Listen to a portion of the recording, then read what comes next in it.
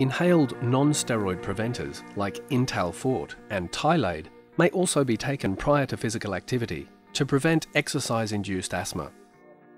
Side effects include an unpleasant taste and a cough after inhaling. Minimise side effects by using a puffer and spacer, rinsing, gargling, and spitting after taking the medication. These medications are very sticky and can block the puffer nozzle. The canister needs to be washed and air dried every day.